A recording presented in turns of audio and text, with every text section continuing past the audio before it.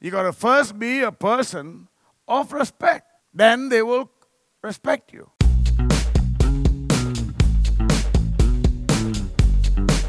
Sorry, Cup. I'm Vas. The next question is about leadership. Because the person who asked says that they have a company, they have staff, but the staff do not respect them. Why should they? Even your children don't have to respect you because you're a father or mother. Respect is earned. You gotta first be a person of respect. Then they will respect you. They may respect you because they are scared you might fire them.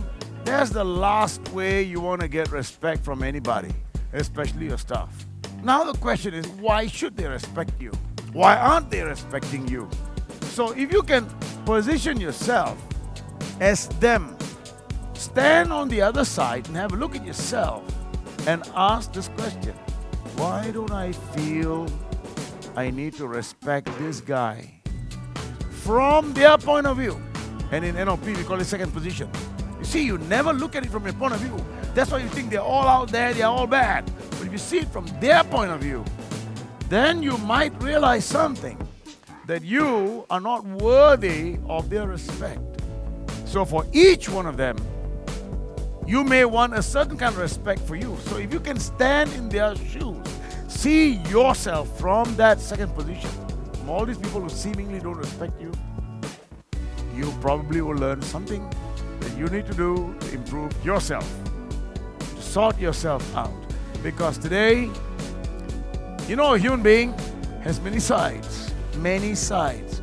Good side, not so good side, bad side, not so bad side, fun side, sad side, happy side. So everybody's got many, many sides. So people that you're standing around with, like me now, standing in front of you, you, whatever means you're watching me from, what do you see? I am presenting to you my best side, which is probably why you would agree with what I'm saying. But you, as a leader, if you present that side that people don't like, that's precisely how they're going to feel about you. So we need to change our side to present our best side to them. And you know something? They will also present their best side to you. That's how life is.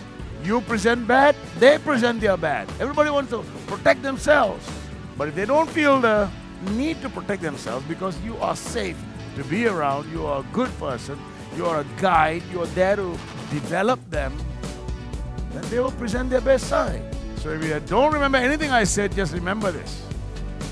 Present your best side to them, and they will present their best side to you. If you're not getting their best side, you are obviously showing your bad side. Think about that.